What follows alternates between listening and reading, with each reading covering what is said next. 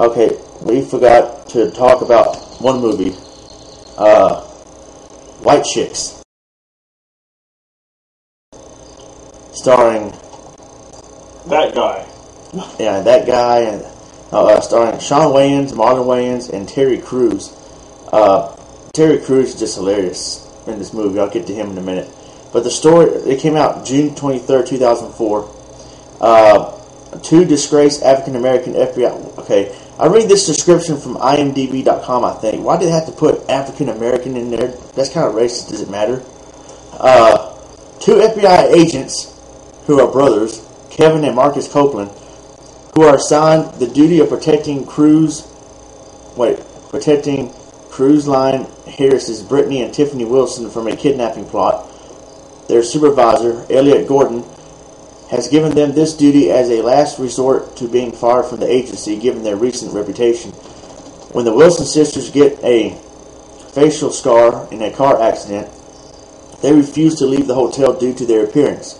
But in order to save their job, the Copeland brothers will have to do the unthinkable disguise themselves as white women in the form of the Wilson sisters. So, um, I mean, it's it's a very hilarious movie, and um, Terry Crews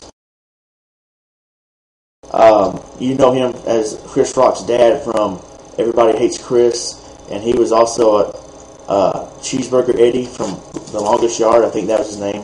He no, he was the oh, one that always passed out cheeseburgers and stuff. Um, he's freaking hilarious in this movie. I mean, he has a crush on one of the Wayans brothers, but that's because the dress is one of the white women. Even though they look funny and mannish, he has a big crush on uh, the on uh, the one that's uh, playing as Marlon Wayans. I can't explain it. He, he thinks they're white women, but really not. He has a crush on one of them and wants to date them and everything, and it's just hilarious. Uh, what's your take on this movie, Raver?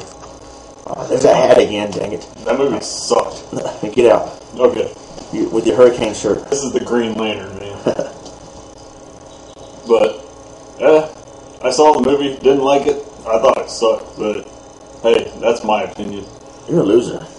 That's my that's my opinion. Uh, um, is that it? Yes. You don't, you don't know why it su- you thought it sucked, or It was just poorly put together. really? How's it poorly put together?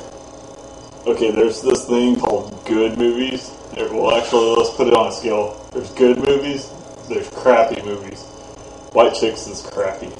But how is it crappy? Like, what do you mean not put together? Like, The acting sucked. really? Even Terry Crews? He's the only funny one in there. Everything else sucked. I mean, it's just overplayed stuff you've seen before in other movies. Mm, I don't know. Well, oh well, that's me and you. I'm, I'm better than you, so I have better taste.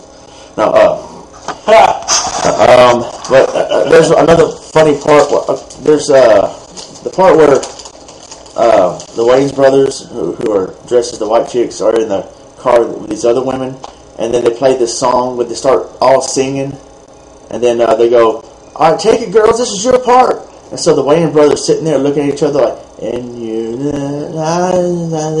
they're trying to sing it. It just, and they couldn't do it. It's pretty funny. And then the part where Terry Crews uh, is about to take, he plays Latrell Spencer in the movie. Uh, he's about to take uh, one of them on the date, and uh, one of the Wayans brothers uh, plays th- that same song to turn him off. And first, it looked like he hated it. He's like, then he goes, "How'd you know?" And he starts singing the song and knowing every word to it. And no matter what that guy, no, no matter what Marlon Wayne uh, did, uh, I said Marlon Wayne, Wayans, whatever, uh, Marcus Copeland, I think that's his name. Uh, he could not turn him off and get him off of him, and, and uh, they couldn't. He, he, even when they went out on that little date, he started stuffing his mouth with food and everything, acting all disgusting. That guy still liked her, still had a crush on her, and couldn't. He couldn't get rid of her. It was pretty funny. That that's probably I thought I probably like that movie better than Dodgeball. I mean, that was probably one of the best, better movies. Right, Bloody uh, Maggot. Uh, one of the best movies of 2004, in my opinion. So there you go.